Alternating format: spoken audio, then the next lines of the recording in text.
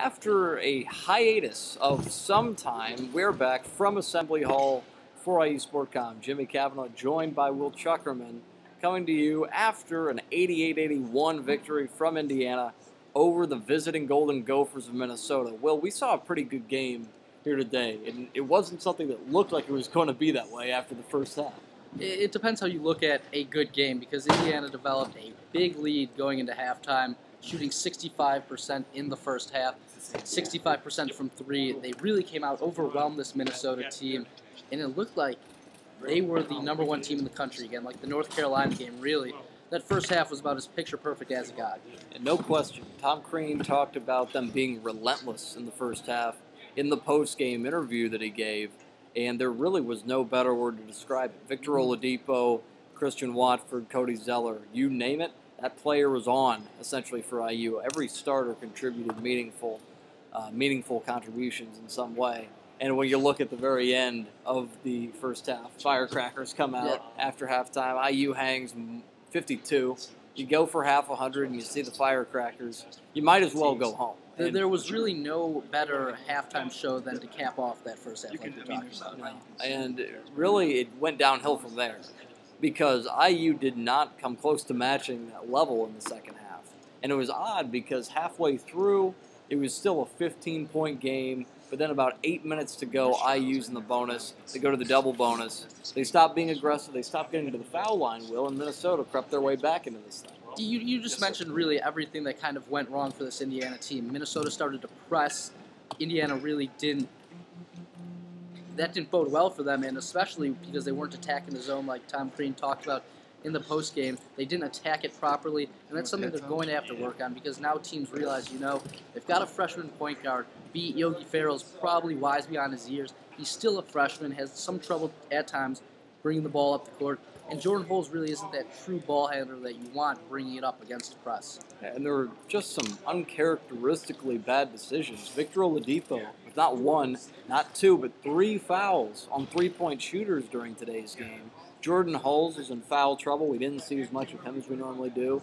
And the bench play was really non existent. Remy Abell, Jeremy Hollowell, and perhaps most surprisingly, Will Sheehey were all essentially missing in action today. Will, I don't believe, scored a single point looking at the stat sheet, yeah, 16 minutes of play, no total points, only uh, he got two steals, so you do like to see that he did keep up that defensive intensity, and that is something we saw. He did bring something on defense that was much needed for this Indiana team. But getting back to what you were talking about, Victor, we saw it in the press conference. He looked visibly upset that he could have cost his team a victory, and he even mentioned that he nearly cost his team a win. That's nine free throws that Minnesota gets. He had a defensive play in the corner late in the game where he also left his uh, shooter who made the three. So as well as he played, there were some plays on the defensive end that I'm sure he'd like to take back. Yeah, and that's lack of discipline. He said it himself in the post game.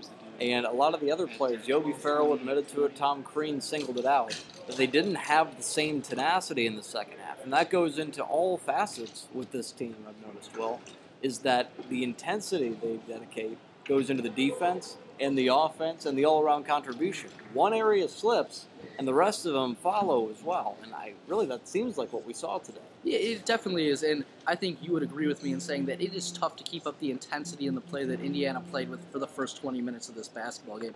It just, I wouldn't say it's unrealistic to say to expect that in the second half, but if you want to be a championship contender, you want to be a top five team, you got to play for a full 40 minutes and kind of stomp on somebody's throat and say, you know what, this game's over. They were up by 23 points at halftime. There's no reason why this game should have gotten into single digits. To their credit, they did stop the free fall. They stopped the bleeding. The Jordan mm-hmm. Hulls went to the free throw line with a chance to put it away, missed both free throws, and then managed to get his own rebound after Cody Zeller did a great job blocking it out. That was the kind of play the effort that you continue to see. Tom Crean said it best. This team never, they didn't continue to play at the same level they did in the first half, but they didn't stop playing hard. And you saw that right down to the very end. And those are the things with Cody Zeller you really can't coach. Those are why people say he's got one of the highest basketball IQs possibly heading into this year's NBA draft. Those are the things you can't coach and the things that are invaluable to a team. When Cody Zeller's going for that offensive rebound, if he doesn't get that, Minnesota can tie the game with a three-point field goal. it's it's easy as that. I thought Cody Zeller's play overall, they got him involved early, was good. It kind of waned a little bit in the end of the first half because they were up by so much they didn't really need to play him. But Cody Zeller's play at the end of the game was huge. And let's get back into that. You said Cody Zeller potentially going to the NBA after this year. Victor Oladipo beginning to look that way as well. 20 points, 6 rebounds, 8 of 10 shooting from the floor. He's beginning to look like a first round draft pick if he leaves this year. He has a year of eligibility left. But if he continues to play this way, we may not see another season of Victor Oladipo in Bloomington. Unfortunately, that may be the case, and you got to praise him how he's been playing on the offensive end. We mentioned some of the miscues on defense, but for the most part, his defense was spectacular tonight or this afternoon. 12 o'clock game it catches you a little off guard. Noon games are always weird. And Yeah. that really was the case here today. Obviously, IU plays their best half of basketball in the first, the worst we've seen in some time in the second. Will, that being said, what's your takeaway here? Because obviously, at some point, water has to reach its level. IU at least comes out with a win. That's something, isn't it? Y- Yogi Ferrell said it in the press conference a win is a win, and I think that's what, if you're an Indiana player, an Indiana fan, someone looking at this team, you, you have to take wins in the Big Ten as you get them. 3 0 in the Big Ten. Not many teams can say that so far this season. And Minnesota was on a roll coming into this game, just having demolished Illinois at Illinois. So I'll take it as that. It's a little discouraging, like we talked about, how the they let Minnesota get back in that game, but they stopped the free fall and they were able to hold on, get a tough, well earned victory. As we look ahead, IU hosts Wisconsin coming up next. The next action will be at Assembly Hall. Well, Wisconsin, as of right now, is putting a beating on Illinois. Uh, what can we expect from the Badgers and the Hoosiers in that game? We're going to have to expect this Indiana team to work on their half court offense, really look to develop Cody Zeller, get him involved, because as we know, Wisconsin's going to slow the game up. Bo Ryan is notorious for playing his style of offense, his style of defense. In Indiana, Yogi Ferrell, Jordan Hulls are really going to have to do a good job of setting this team up in the half court, getting Zeller and Watford involved down and early and often.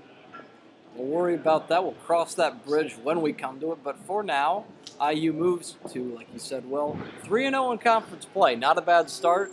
And against the Minnesota team that beat them last year in Assembly Hall, IU manages to hold off a win, go to 3 0, 1 0 at home in Big Ten play. Will, any final thoughts before we send this baby home?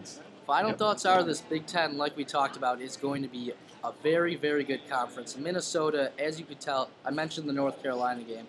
You can tell that Minnesota is maybe a step or two above North Carolina in the fact that they were able to come back and make this a game. So don't count out Minnesota. It's going to be a real tough game when Indiana travels later in the season to the barn. Uh, no, no sure things on the road to the Big Ten, to be sure. That's another story for another day. As of now, we're finished here from Assembly Hall. For Will Chukerman, I'm Jimmy Cavanaugh saying good night. Travel well, folks. Thanks for watching. We'll catch you next time.